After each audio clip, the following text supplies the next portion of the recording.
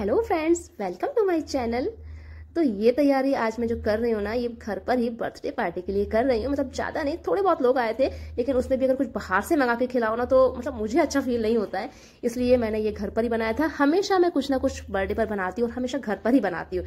कभी समोसे, कभी कचौड़ी तो मोस्टली ना मैं समोसे बनाती हूँ, लेकिन आज मैं कुछ और बना रही हूँ। तो डेढ़ किलो के आसपास आलू लिए मैंने।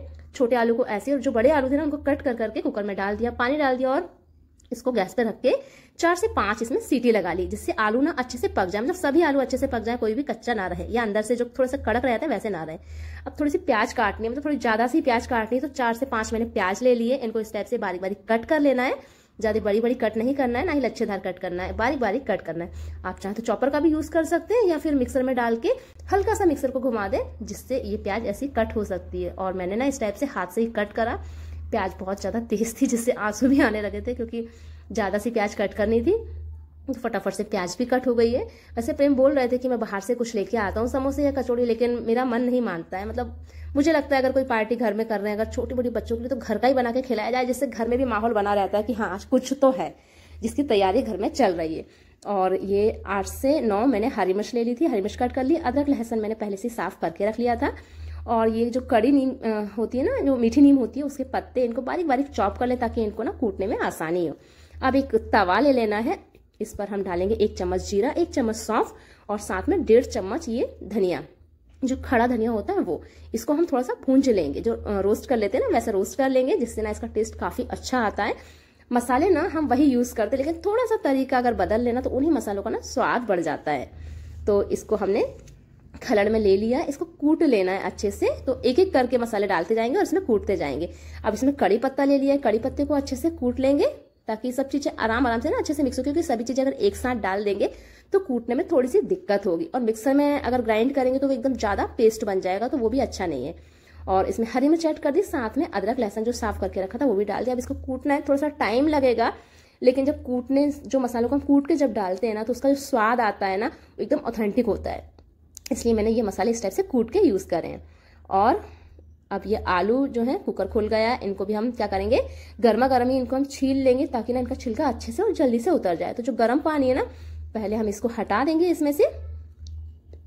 और गर्म पानी को हटाने के बाद थोड़ा सा इसमें नॉर्मल पानी भर लेंगे। मतलब बराबर मैंने इस पानी भर लिया है इसमें दूसरा पानी। तो छिलका ना अच्छे से आसानी से उतर जाएगा। अगर आप एकदम पूरा ठंडा करके छीलेंगे ना तो बहुत ज़्यादा टाइम लगेगा और सही से छिलते भी नहीं है। अब इनको हम रफली चॉप्ड कर लेंगे। तो पहले इस टाइप से हाथ से ना देखिए, जैसे मैं कर रही हूँ, इस टाइप से कट कर ले। चॉपिंग बोर्ड का यूज़ करने की ज़रूरत नहीं है और ये आसानी से कट हो जाते हैं। ये देखिए, इस टाइप से रफली एक में से चार टुकड़े या छह टुकड़े इस टाइप से कट कर लेंगे और इसको ज़्यादा एकदम मैश नहीं करना है हाथ से। अब कुछ कुछ बच गए तो क्या करेंगे? इस टाइप से, बीच बीच में से, इस टाइप से नाइफ चला देंगे थाली में। बहुत ही आसानी से कट हो जाता है, बहुत ही जल्दी से कट हो जाता है। बिल्कुल टाइम नहीं लगता, क्योंकि आलू ना अभी थोड़े गर्म गर्म है। एकदम मैश नहीं करना है नहीं तो जो अंदर जो मसाला हम भरेंगे ना, उसमें बिल्कुल भी मज़ा नहीं आएगा।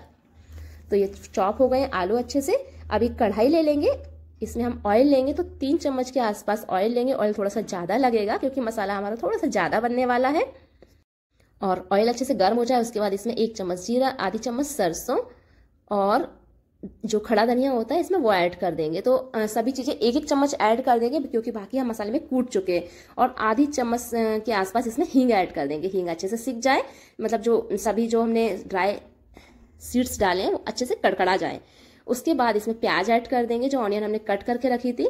और ऑनियन को ज़्यादा नहीं सेकना है, बस हल्की सी इसका कलर चेंज हो जाए थोड़ा सा ब्राउनिश कलर हो जाए ना, तब तक बस हमें इसे सेक लेना है। इससे ज़्यादा नहीं सेकना है। उसके बाद जो हमने मसाला कूट के रखा है ना, हम इसको ऐड कर देंगे और इसको भी हम ऑयल में अच्छे से सेक लेंगे। ये मसाले को जैसे ही ऐड करेंगे ना तो ऑयल ये पूरा एब्जॉर्ब कर लेगा। तो अगर लगता है तो आप एक से दो टेबल स्पून ऑयल इसमें ऊपर से ऐड कर सकते हैं, इसी स्टेज पे। अब ये मसाले अच्छे से भूंज गए हैं। मतलब पाँच मिनट तक इसको कढ़ाई में इसी टाइप से चला लेना है। उसके बाद जो आलू हमने मैश करके रखे हैं ना मतलब जो कट करके रखे हैं, उनको इसमें ऐड कर देना है। आलू का ध्यान रखें, हाथ से बिल्कुल ना मिसे, नहीं तो एकदम वो कुचला जो बन जाता है आलू का, वैसा बन जाएगा। सारे के सारे आलू ना हमने एक साथ कढ़ाई में ऐड कर दिया इसमें मसाले ऐड करेंगे। तो सबसे पहले स्वाद अनुसार नमक तो मैंने डेढ़ चम्मच नमक लिया है, आधी चम्मच लाल मिर्च पाउडर और आधी चम्मच इसमें गरम मसाला ऐड किया है। लाल मिर्च पाउडर कम ऐड किया क्योंकि मैंने हरी मिर्च इसमें ज़्यादा ऐड की। जो मसाला है ना हमारा थोड़ा ग्रीन ग्रीन बनेगा और हरी मिर्च का स्वाद जो आता है ना वो काफ़ी अच्छा आता है मतलब एकदम से तीखा नहीं लगता। अब इसमें ऊपर से डाल देंगे हल्दी पाउडर।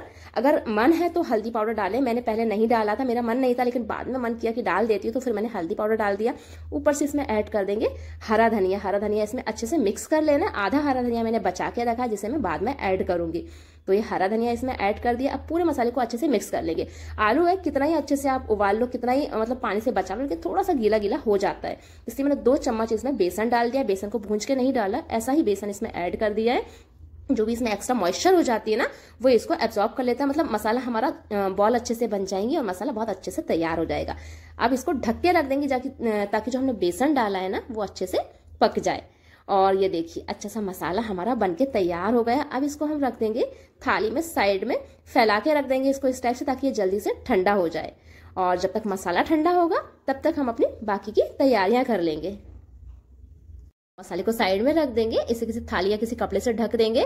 और अब जो बेसन हम यूज़ करने वाले हैं, उसको मैंने छान के यूज़ किया है। तो बेसन ले लेना है। मैं थोड़ा ज़्यादा सा आलू बड़े बनाने वाली हूँ, इसलिए बेसन थोड़ा ज़्यादा सा लगेगा। मैंने इसको वेट नहीं किया। अंदाजन मैंने लिया, आधा किलो से ऊपर होगा ये बेसन। और तब बाद में थोड़ा सा गीला हुआ था तो मैंने इसमें और ऐड किया था। तो अगर कम पड़ेगा तो हम बाद में फिर से घोल बना लेंगे, लेकिन मैंने लगभग इतना किया कि ये कम नहीं पड़ेगा। अब इसमें कुछ मसाले हम ऐड करेंगे साथ में तो सबसे पहले क्या करेंगे, इसको पानी में घोल लेंगे। क्योंकि अगर मसाले हम इसी स्टेज पर डालेंगे ना तो हमें अंदाज़ा नहीं रहेगा कि हम कितना मसाला इसमें ऐड करें। इसलिए इसको पानी में घोल लें। जो घोल हमारा तैयार करना ना, जैसा वैसा घोल तैयार कर ले। तो मैंने थोड़ा सा इसको, थोड़ा भी पतला हो गया है घोल मेरा, थोड़ा सा बेसन ऐड करना पड़ेगा इसमें, लेकिन पहले इसमें हल्दी पाउडर, आधी चम्मच मिर्च पाउडर, थोड़ा सा हरा धनिया, जिससे कलर अच्छा लगेगा।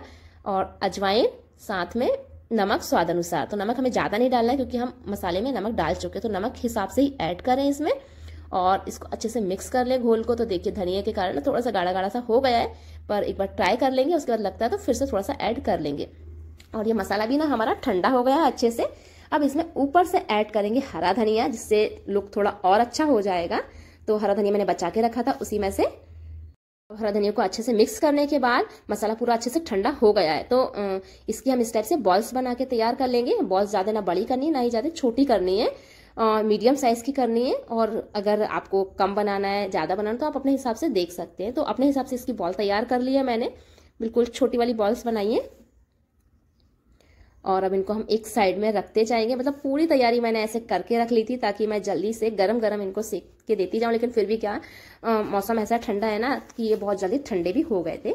लेकिन फिर भी मैंने कोशिश करी थी कि मैं गर्मा गर्म दे पाऊँ इनको। और सारी तैयारी ना मैंने पहले ही करके रखी तो ये देखिए सारी की सारी बॉल्स बना ली है। एक साइज़ की बनाई है, कुछ हो गई है, छोटी बड़ी। ज़्यादा कम हो जाता है थोड़ा बहुत, लेकिन अच्छे से बन गई है और अच्छे से सेट हो गई बिल्कुल भी फैल नहीं रही, ना ही एक दूसरे में चिपक रही है।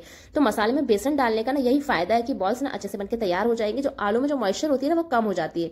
अब ये घोल बना के तैयार कर लिया है। अब इस घोल में हम एक बॉल उठा के डाल के एक थोड़ा फ्राई करके देखेंगे कि हमारा जो घोल बना है बेसन का, वो सही है या नहीं। बॉल्स तो एकदम परफेक्ट बनी है। जो आलू मसाला था वो एकदम परफेक्ट है। टेस्ट मैंने करवा लिया था कि नमक कहीं कम ज़्यादा तो नहीं है तो नमक बराबर है इनमें। मिर्च मसाला सभी कुछ। अब तेल गर्म हो गया है अच्छे से। एकदम गर्मा गर्म ऑयल में इनको ऐड करना है और उसके बाद फ्लेम को मीडियम करना है और मीडियम फ्लेम पर इनको सेकना है। तो ये सभी की सभी बॉल्स ऐड कर रही हूँ। थोड़ा सा बेसन ना पतला हो गया है, इसलिए देखिए इस टाइप से कढ़ाई में गिर रहा है आसपास तो मैं इसमें थोड़ा सा बेसन और ऐड करूँगी।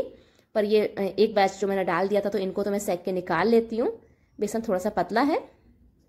तो इनको सेक लिया और साथ में ना इसमें डालेंगे थोड़ा सा हम मीठा सोडा, जिससे हमारे जो आलू बड़े ना, वो थोड़े से बड़े बड़े बनेंगे मतलब फूले फूले से बनेंगे अच्छे से। तो ये देखिए, जो फ़र्स्ट बैच था ना, जो मैंने सेका था, ये सीख चुका है, घोल थोड़ा सा पतला था, जिसके कारण इस टाइप से आलू बाहर निकला तो ये थोड़ा सा ब्लैक ब्लैक हो गया था। उसके बाद मैंने क्या किया, जो घोल था ना, उसमें चार से पाँच टेबल स्पून के आसपास मैंने बेसन डाल के उसको और अच्छे से घोल लिया तो मेरा घोल जो बनके तैयार हुआ, एकदम परफेक्ट बन गया था। हाँ घोल थोड़ा सा ज़्यादा हो गया था तो कोई बात नहीं, बाद में इसमें मैंने प्याज वगैरह डाल के भजिए सेक लिए थे। और अब इसको मैं क्या सोच रही थी कि चम्मच से इस टाइप से डालती जाऊँ, क्योंकि मैं तैयार होकर आ गई थी, अच्छे से सोच रही थी हाथ ना बिगाड़ना पड़े, लेकिन चम्मच से ना काम नहीं बन पाता। आलू बड़े जब भी बनाना हो ना, वो हाथ से ही बनते हैं ना, तभी मज़ा आता है और तभी बिल्कुल सही बनते तो इससे बहुत लेट हो रहा था मुझे, इसलिए मैंने हाथ का यूज़ करके फटाफट से सभी बड़ों को कढ़ाई में डाल डाल के सेक लिया था। और जितने मुझे लगने थे ना, मैंने लगभग गर्मा गर्मी इनको सेका था, लेकिन फिर भी क्या ठंड के मौसम होने के कारण ये बहुत जल्दी ठंडे हो गए थे। लेकिन फिर भी बहुत ज़्यादा टेस्टी बने थे और जो इसका मसाला बनाया ना, उसका तरीका जो मैंने बताया ना, आपको एक बार ट्राई करिए, बहुत ही अच्छे बन के तैयार होंगे। कुछ मसाले सेक के डालने होते हैं, कुछ मसाले तल के डालने होते हैं। तो ये आलू बड़े ना बहुत ही ज़्यादा अच्छे बने थे, बहुत ही टेस्टी बने थे और मैंने ढेर सारे मतलब इतने सारे ना मैंने फ़र्स्ट टाइम बनाए, मुझे बहुत डर लग रहा था कि कैसे बनेंगे। पर फाइनली मैंने बना लिए थे, क्योंकि समोसे बनाना, ना मतलब मेरे लिए आसान हो गया, मैं हमेशा समोसे बनाती हूँ, थोड़ा सा टाइम लगता है, लेकिन हमेशा समोसे बनाती हूँ। और अब ये बर्थडे के लिए मैं भी रेडी थी, मेरी जो प्लेट्स में जो भी आइटम रखना था मुझे, मैंने गुलाब जामुन बनाए थे, ढेर सारे आटे के गुलाब जामुन बनाए थे, बहुत ज़्यादा टेस्टी बने थे वो भी। तो आप उसकी वीडियो भी देख सकते हैं, मेरे चैनल पर ही अपलोड है। तो ये नाश्ते की प्लेट्स के लिए सभी कुछ तैयार है। तो कैसी लगी आपको वीडियो मुझे कमेंट करके बताइए। वीडियो अच्छी लगे तो लाइक करना बिल्कुल मत भूलिए। और चैनल पर नए हैं तो चैनल को सब्सक्राइब करना भी बिल्कुल ना भूले। ये रहे आलू बड़े और 拜拜。